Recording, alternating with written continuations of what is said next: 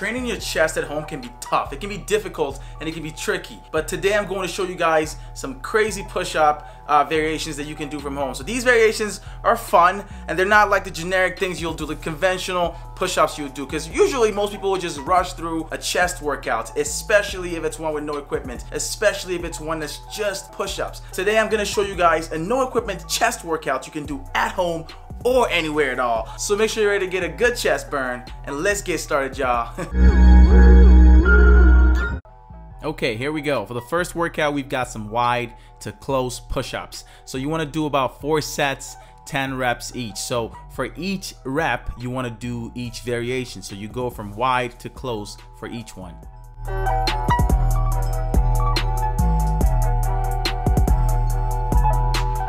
Okay, here are some tips for you guys. You want to make sure you're going from a wide grip to a close grip and you want to bring your chest as close to the floor as possible without touching the floor. You also want to make sure you're controlling your reps and making sure they're really slow and controlled and not rushed through. If you're finding it difficult to do push-ups, you know, regular push-ups, then you might want to try it with your knees on the floor.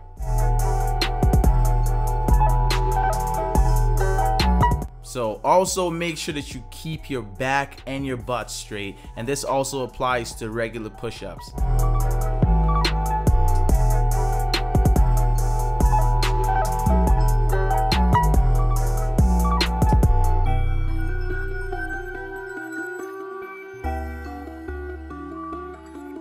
Number two, staggered push-ups. Four sets, 10 repetitions.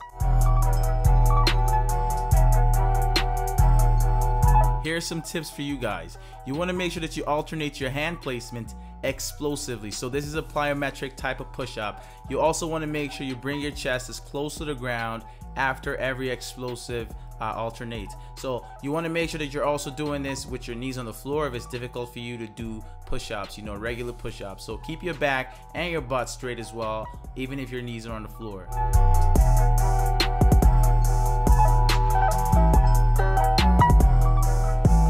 Up, we've got some Pulsing push-ups. Four sets, 10 repetitions.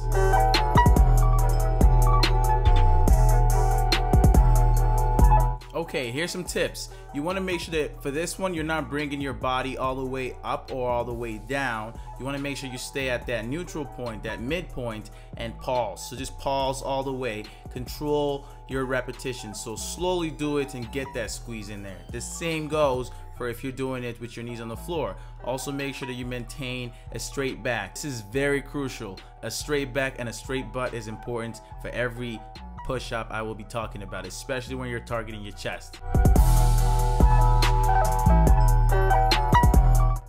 Next up, we've got some diamond push-ups.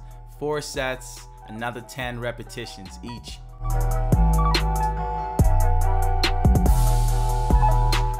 For this one, make sure that every single time you're going up, you're exploding upwards and you're squeezing your chest.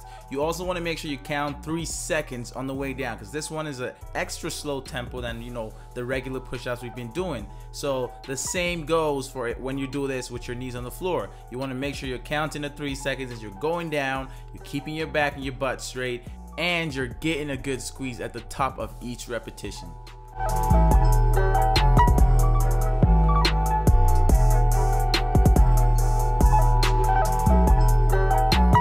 Last but not the least, push-ups to half burpees. Four sets and you wanna do this for about 10 repetitions.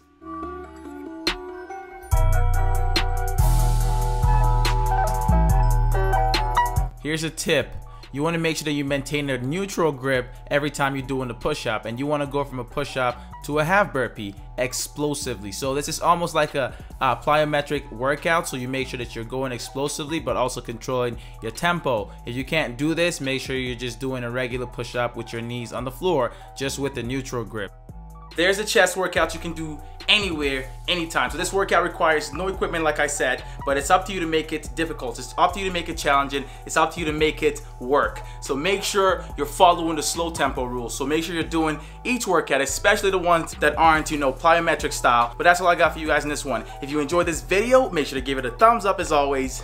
Subscribe to my channel if you're new to it. If you enjoyed this video and want to see some more like it, make sure to check out the video on the screen right now. And I'll catch you guys in my next video. It's Midas, and I'm out, y'all.